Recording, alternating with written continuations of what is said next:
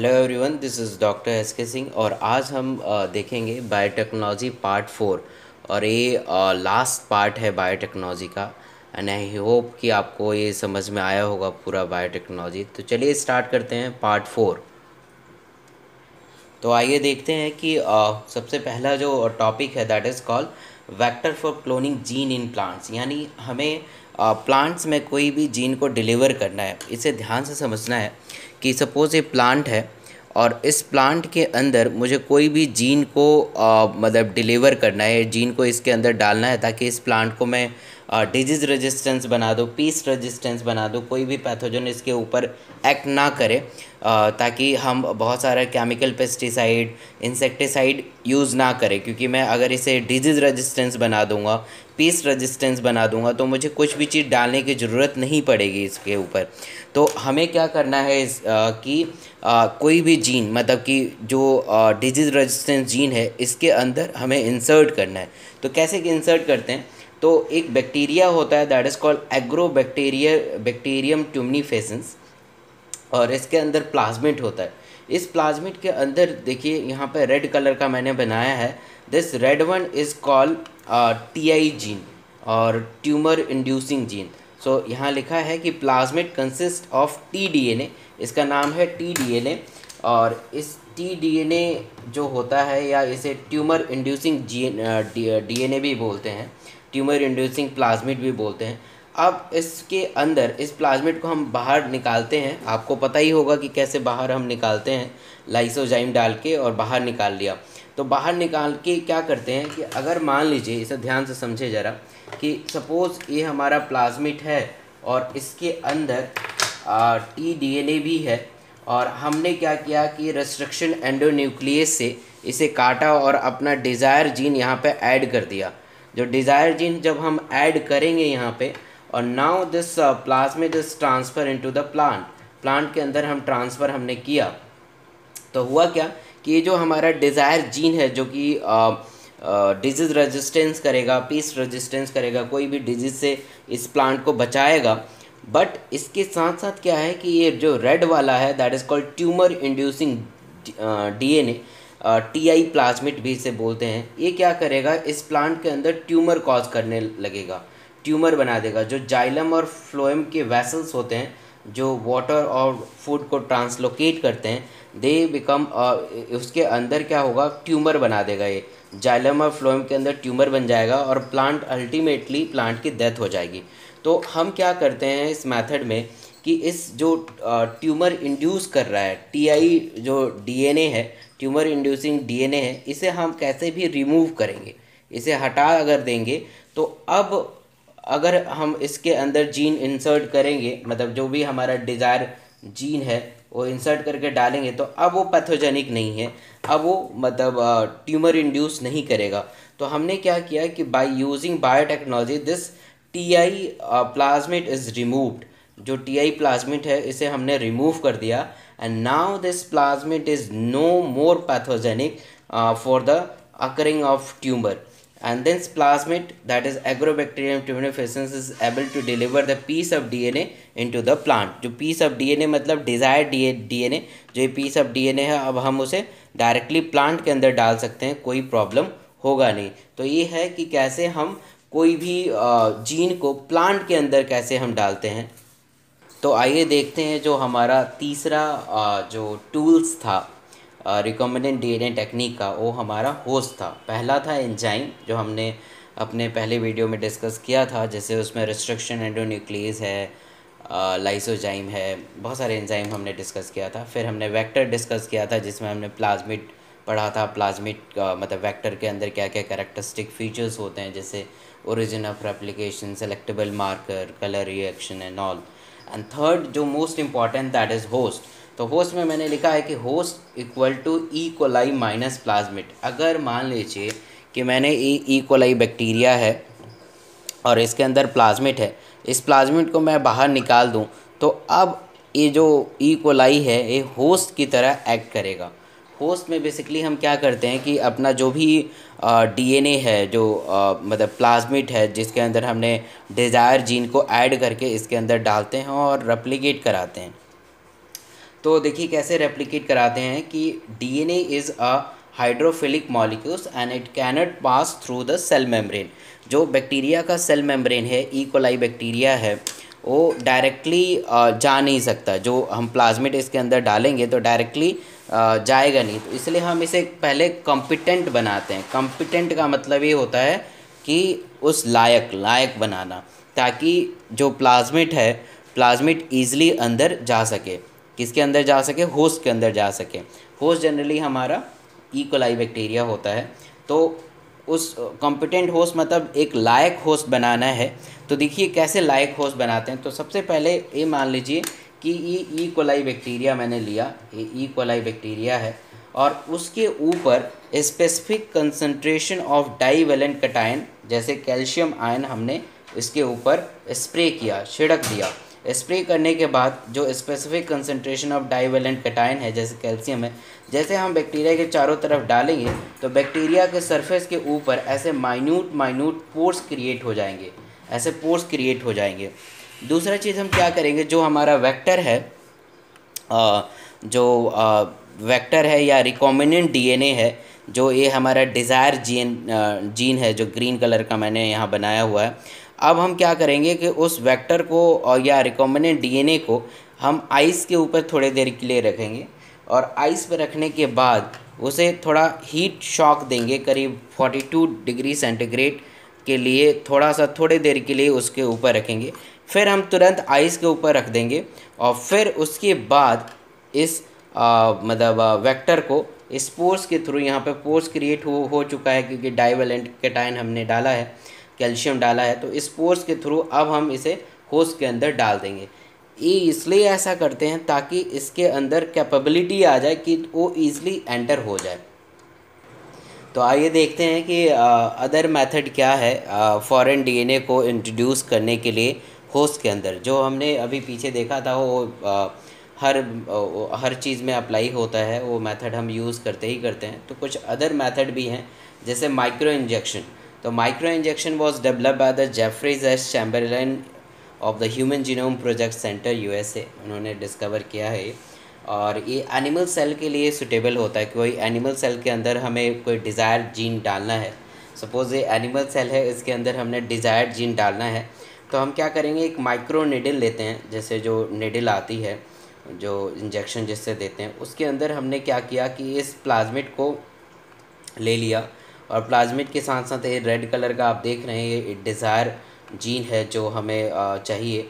उस desire gene के साथ मतलब प्लाज्मिट को हमने इंजेक्शन में ले लिया और डायरेक्टली हम इसे न्यूक्लियस के अंदर, जो मतलब न्यूक्लियस है या होस्ट के अंदर हमने डायरेक्टली डाल दिया। तो ये हो गया हमारा माइक्रो इंजेक्शन जो दूसरा मेथड है दैट इज़ कॉल्ड बायोलिस्टिक और gene gun method gene gun method क्या होता है कि ये सुटेबल होता है प्लांट्स के लिए. अगर प्लांट्स में कोई डिज़ायरेबल जीन या प्लाज्मिट हमें डालना है तो हम जीन गन मैथड को यूज़ करेंगे. तो क्या करते हैं कि सेल्स को बम्बार्डेड करते हैं with high velocity of micro particles of gold and tungsten coated with the DNA gold और टंगस्टन से कोट करके और डायरेक्टली बम्बार्ड करेंगे तो ये सीधा इसके अंदर एंटर हो जाएगा. हाई वेलोसिटी से जाएगा. और इसके अंदर घुस जाएगा ये। आइए देखते हैं processes of recombinant DNA technique जो हमने आ, आ, पिछले वीडियो में डिस्कस किया था कि रिकॉम्बिनेंट डीएनए टेक्निक क्या प्रोसेसेस होते हैं कैसा होता है तो अगर आ, अभी आप अभी अगर आपने अभी तक वो वीडियो नहीं देखा है तो प्लीज़ उसे देखिए तभी आपको ये सारा पार्ट समझ में आएगा। तो अगर आप फ़र्स्ट टाइमर व्यूअर हैं फ़र्स्ट टाइम देख रहे हैं तो आपको पूरा पार्ट वन से देखना पड़ेगा क्योंकि बायोटेक्नोलॉजी बहुत ही कॉम्प्लेक्स चैप्टर है। तो आपको अगर कंसेप्ट डेवलप करना है बायोटेक्नोलॉजी में तो स्टार्टिंग से आप देखिए। और आपने एक बार देख भी लिया है तो फिर भी एक बार स्टार्टिंग से देखें, ताकि बार बार अगर देखेंगे तो बिल्कुल दिमाग में बैठ जाएगा। तो चलिए, आइए देखते हैं कि process of recommended DNA technique के लिए क्या क्या स्टेप होते हैं। ऑलरेडी हमने सारे डिस्कस ऑलमोस्ट कर लिया है। तो जो हमने कर रखा है, वो हम बार बार नहीं करेंगे। वो आप हम, हमारे, मेरे पिछले वीडियो में देख सकते हैं। Isolation of genetic material that is DNA तो सबसे पहले अगर हमें रिकॉम्बिनेंट डीएनए करना है रिकॉम्बिनेंट डीएनए टेक्निक यूज़ करना है तो सबसे पहले हमें डीएनए चाहिए जेनेटिक मटेरियल चाहिए आइसोलेट करेंगे। फिर आइसोलेट करने के बाद उसे हम काटेंगे। That is cutting of DNA at a specific location ये बहुत अच्छे से हमने डिस्कस किया हुआ है। थर्ड है amplification of gene of interest using P C R ए अभी हम डिस्कस करने वाले हैं, बहुत इंपॉर्टेंट है and now insertion of recombinant D N A into the host cell अभी हमने डिस्कस किया है इसी वीडियो में। कि कैसे हम इंसर्ट करेंगे अपने रिकॉम्बिनेंट डीएनए को प्लाज्मिड को होस्ट के अंदर। जैसे अभी बताया था कि डाइवेलेंट कैल्शियम आयन डालेंगे डाइवेलेंट कैटायन यूज़ करेंगे, फिर उसके अंदर पोर्स हो जाएगा, फिर रिकॉम्बिनेंट डीएनए को हम आइस के ऊपर रखेंगे, फिर हीट शॉक देंगे, फिर आइस के ऊपर रखेंगे देन हम उस पोर्स के थ्रू इंसर्ट करेंगे। तो ये भी हमें डिस्कस करने की ज़रूरत नहीं है। तो जो जो डिस्कस करने की ज़रूरत नहीं है, मैं इस पर कट ऐसे लगा देता हूँ। ये और ये थोड़ा सा हम देखेंगे अभी।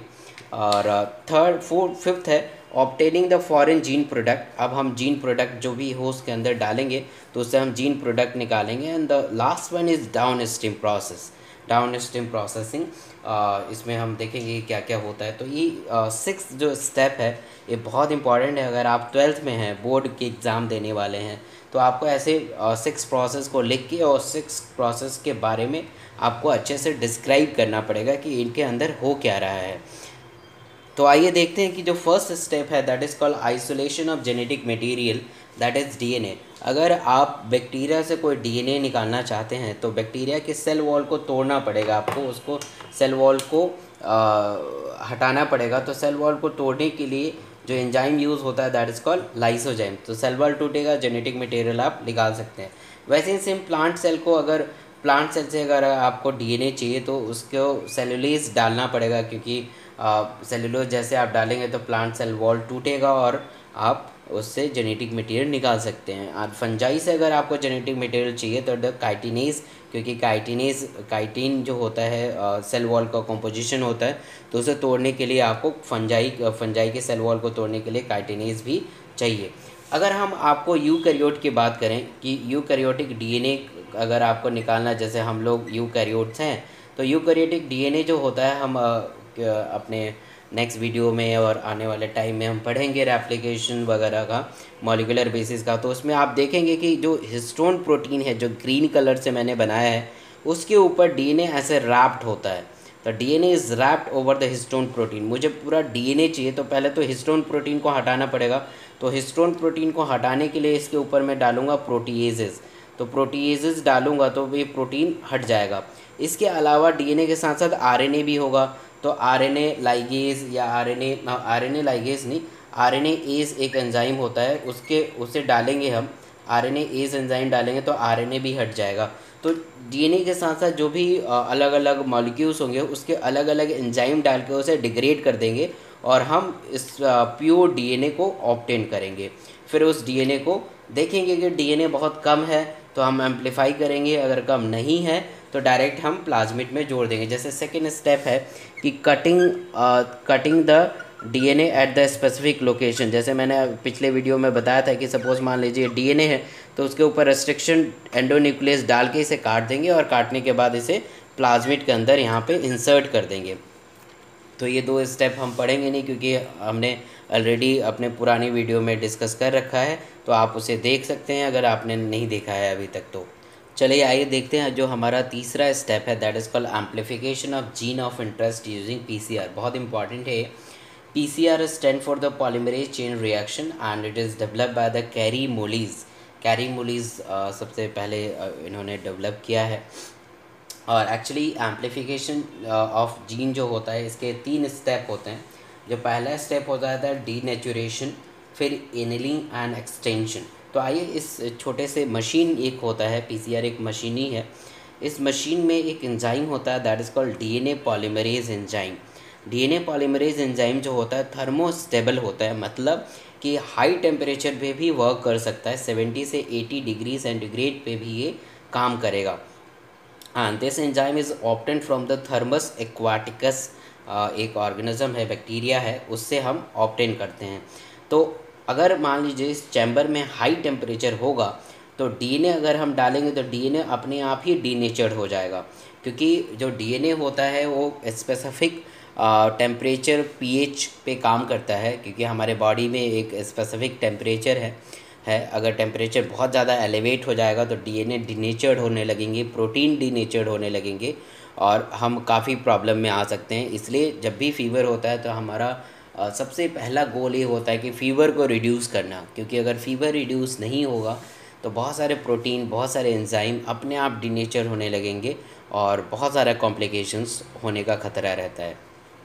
आ, तो जैसे ही हाई टेम्परेचर क्योंकि इस पूरे चैम्बर में पीसीआर में पूरे में हाई टेम्परेचर है तो जैसे हम हाई टेम्परेचर प्रोवाइड करेंगे तो this DNA undergo the denatured denatured मतलब कि that break down the double strand to the single strand that is called denaturation और फिर क्या करेगा कि इस जो डीएनए पॉलीमरेज है, वो बहुत सारे ओलिगो न्यूक्लियोटाइड और न्यूक्लियोटाइड और प्राइमर्स को ऐड करके यहाँ पे और इस चेन को एलोंगेट कर देगा एम्पलीफाई कर देगा। तो बहुत एक छोटा सा स्ट्रेन आप देख सकते हैं छोटा सा स्ट्रेन बहुत बड़ा एम्पलीफाई हो जाए, हो गया। इसका तो ये बायोटेक्नोलॉजी में ये एप्लीकेशन है। बाकी बहुत जगह जगह हम लोग क्लिनिक में भी इसका पीसीआर को यूज़ करते हैं। PCR is use for the diagnose the H I V tuberculosis ये सब चीज़ को हम डायग्नोस करते हैं। तो सपोज़ मान लीजिए कि टीबी का बैक्टीरिया है माइक्रोबैक्टीरियम ट्यूबरक्लोसिस और बहुत इनिशियल सिम्टम्स आ रहे हैं। जैसे फीवर आ रहा है नाइट स्वेटिंग हो रहा है, और वेट लॉस हो रहा है, और मुझे सस्पेक्टेड है कि उसे टीबी हो सकता है तो उसका ब्लड अगर मैं टेस्ट करूँ तो ब्लड में बहुत कम ही बैक्टीरिया अगर होंगे माइक्रोबैक्टीरियम के बहुत ही कम बैक्टीरिया अगर होंगे तो ये क्या करेगा कि बैक्टीरियल के डीएनए को एम्पलीफाई करके बता देगा कि ये टीबी का बैक्टीरिया सेम एचआईवी के साथ भी यही होता है। वायरल आरएनए को बिल्कुल एम्पलीफाई करके बता देगा।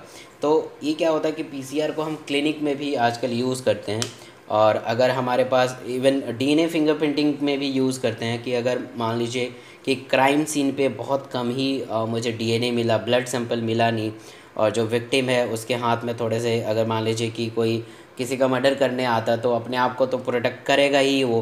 तो मान लीजिए कोई मारने उसे आ रहा है तो उसके, उसने पकड़ लिया, उसके हेयर्स उसके हाथ में आ गया तो उस हेयर्स हेयर्स को हेयर्स को निकालेंगे हेयर को निकालेंगे और हेयर को निकालने के बाद देखेंगे कि हेयर में एक्चुअली डीएनए का कंटेंट बहुत ही कम होता है, बहुत ही कम होता है।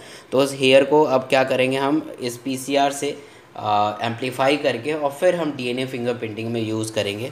तो आगे मैं डीएनए फिंगरप्रिंटिंग बताने वाला हूँ आगे वीडियो में। तो वहाँ पे हम देख पाएँगे। तो आइए देखते हैं जो हमारा नेक्स्ट स्टेप है that is obtaining the foreign gene product जो भी हमने होस्ट के अंदर अपना फॉरेन जीन डाला और उसके अंदर से प्रोडक्ट हमने निकाल लिया तो उस प्रोडक्ट जो है वो बिल्कुल रॉ है। तो उस प्रोडक्ट को हम बायो रिएक्टर में डालेंगे। तो by the help of bioreactor bioreactor basically two type का होता है। That is a simple stir type of tank and sparged stir type of tank and this uh, bioreactor his raw material are biologically converted into the specific product. जो भी हमने raw material host से निकालेंगे उसे uh, ये क्या करेगा? Specific product में कन्वर्ट कर देगा। क्यों करेगा? क्योंकि इसके अंदर बहुत सारे ऑप्टिमम कंडीशंस होते हैं। For achieving the desired product by providing the growth condition like temperature, pH, substrate, salt, vitamin, oxygen. ये सारे इस मशीन के अंदर होते हैं, जो कि जो हम होस्ट से से निकालेंगे और उस होस्ट को डायरेक्टली वो प्रोडक्ट में कन्वर्ट कर देगा बायोरिएक्टर तो आप अपने टेक्स्ट बुक से पढ़ सकते हैं बायोरिएक्टर इसमें कुछ ज़्यादा खास नहीं है। और जो लास्ट स्टेप है रिकॉम्बिनेंट डीएनए टेक्निक का that is called downstream processing downstream processing basically concern for the separation and purification is called downstream process जो हमने बायोरिएक्टर से सेपरेट करेंगे फिर अगर उसके अंदर इम्प्योरिटीज़ होगी तो उसे प्योरीफाई करेंगे that is called downstream process बहुत लंबा प्रोसेस होता है एंड uh, अगर मान लीजिए कि मैंने इंसुलिन uh, बनाया है और या कोई भी ड्रग्स बनाया है या कुछ भी चीज़ हमने बनाया है तो उसे क्या करेंगे कि प्रिजर्वेटिव सोल्यूशन में स्टोर करके रखेंगे कि अब अचानक से उसे पूरा का पूरा हम एक साथ यूज़ नहीं कर सकते हैं तो उसे हम क्या करेंगे प्रिजर्वेटिव सोल्यूशन में रखेंगे ताकि वो ख़राब ना हो जाए। और अगर हमने कोई ड्रग बनाया है, कोई मेडिसिन बनाया है तो उसका क्लिनिकल ट्रायल करेंगे ये आप एमबीबीएस में पढ़ेंगे क्लिनिकल ट्रायल कैसे होता है, बहुत सारे स्टेजेस होते हैं इसके। बट छोटा सा फॉर्म में मैं बता देता हूँ कि अगर आपने ड्रग बनाया है तो सबसे पहले तो मतलब कि किसी एनिमल्स पे करना होता है, ठीक है? और फिर एनिमल्स के बाद पेशेंट पे करना होता है। तो पेशेंट को मान लीजिए कि हमने एक नया ड्रग बनाया है, जो कि फीवर को रिड्यूस कर रहा है। पैरासीटामोल के अलग अलग कोई ड्रग है। तो ये सारे पेशेंट पे देखेंगे और देखेंगे कि फ़ीवर इनका रिड्यूस हो रहा है, नहीं हो रहा है, क्या साइड इफ़ेक्ट है। बहुत बड़ा प्रोसेस है, यही है। तो क्लिनिकल ट्रायल बहुत इंपॉर्टेंट है, अगर आपने कोई ड्रग्स बनाया है एंटीबायोटिक बनाया है या कोई वैक्सीन बनाया है इस मेथड से। और क्वालिटी कंट्रोल टेस्टिंग करते हैं कि क्या क्वालिटी है इसका, जो भी हमने प्रोडक्ट बनाया है। तो बायोटेक्नोलॉजी जो होता है एक बहुत बड़ा रोल है किसी भी क्षेत्र में, चाहे वो मेडिसिन हो या कोई भी हो। मेडिसिन हम बहुत सारा इस बायोटेक्नोलॉजी से बनाते हैं और अपने हॉस्पिटल में यूज़ करते हैं। जैसे ऑक्सीटोसिन अगर आपने सुना होगा कि ऑक्सीटोसिन एक हार्मोन है which is synthesise during the pregnancy और हम क्या करते हैं कि ऑक्सीटोसिन का बहुत ज़्यादा यूज़ करते हैं चाइल्ड बर्थ के टाइम में। वर्शन में भी यूज़ करते हैं। रिलैक्सिन आपने सुना होगा this relaxin is synthesise by the human female and it's helpful for the facilitate the child birth अगर वो फैसिलेट नहीं होता है तो हम रिलैक्सिन देते हैं। तो ये भी रिलैक्सिन हमारा डाउन स्ट्रीम प्रोसेस हमारा पूरा बायोटेक्नोलॉजी से आता है। इंसुलिन अभी हमने डिस्कस किया ही है। ऐसे बहुत सारे प्रोडक्ट्स जो है डेली टू डेली यूज़ होते हैं, वो बायोटेक्नोलॉजी की वजह से मिलता है। तो इसी के साथ हमारा बायोटेक्नोलॉजी का जो सीरीज़ है, वो ख़त्म हो गया है। एंड आई होप कि आपको ये सीरीज़ बहुत पसंद आया होगा। और मैं माफ़ी चाहता हूँ कि मैंने काफ़ी डिले इस वीडियो को अपलोड किया है बिकॉज़ मेरे पास थोड़ा टाइम का प्रॉब्लम है।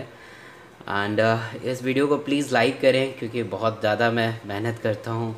और आप लाइक करेंगे तो मैं इनक्रेज रहूँगा और प्लीज़ शेयर करें अपने फ्रेंड्स को, आप अपने फ्रेंड्स को हेल्प कर सकते हैं। और बहुत बहुत थैंक्स आप लोगों का कि आपने इतना सपोर्ट मुझे दिया। बहुत ही ज़्यादा थैंक्स सभी लोगों का। और अगर आप फ़र्स्ट टाइम व्यूअर हैं, पहली बार अगर आप देख रहे हैं तो प्लीज़ इसे सब्सक्राइब करें। अगर अभी तक आपने सब्सक्राइब नहीं किया है और इसके साथ एक बेल का बटन है, उसे ज़रूर दबाएँ, क्योंकि जब भी मैं वीडियो अपलोड करूँगा तो आपको सबसे पहले वो मिले। और thank you so much for the support thank you so much for the watching thank you so much